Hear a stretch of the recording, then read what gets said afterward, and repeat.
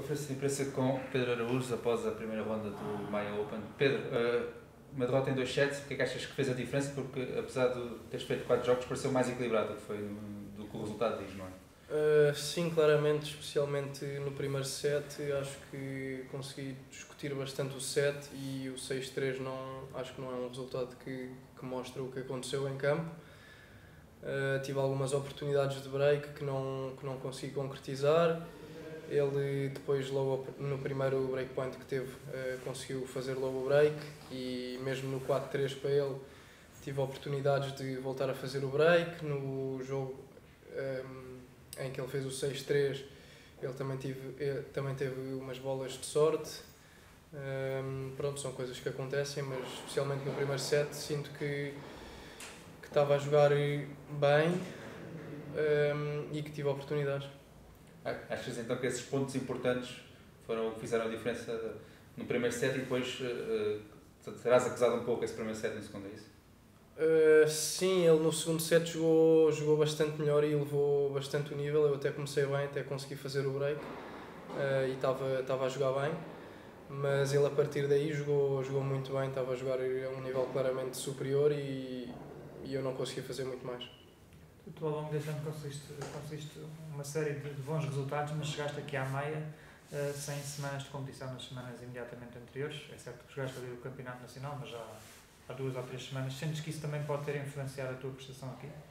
Uh, não isso, mas outras coisas, tal como o facto de ainda ter uma pequena dor na perna que vem arrastar desde, desde lá está a final do Nacional, que ainda não está 100% curada. Uh, é certo que hoje não senti dor, o que é um fator positivo, mas no primeiro set senti-me melhor do que no segundo set. No segundo set já já apresentei ali algumas limitações na movimentação. Uh, espero conseguir estar a 100% para a próxima semana. Adicionando a isso, também tive doente esta, esta passada semana com febre, tive alguns dias sem poder treinar, uh, tive só em casa e pronto, não foi propriamente a melhor preparação. Uh, não estava a 100%, mas mesmo assim decidi vir uh, e dei o meu melhor. Então, pelo que estás a dizer, deduzo que se não fossem torneios de Challenger e em Portugal, terias optado por não competir nestas semanas?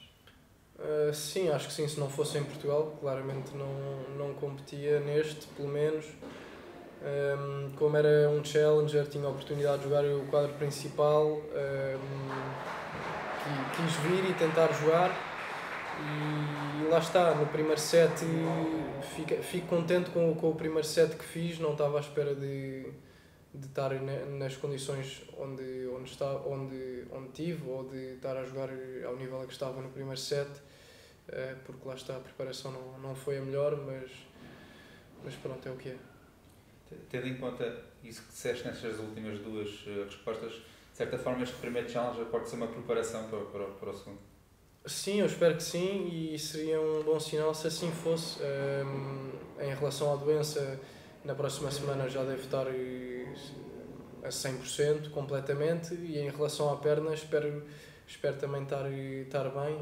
Um, isto tem vindo, a, tem, vindo tem vindo a evoluir bem nesta, nesta última semana.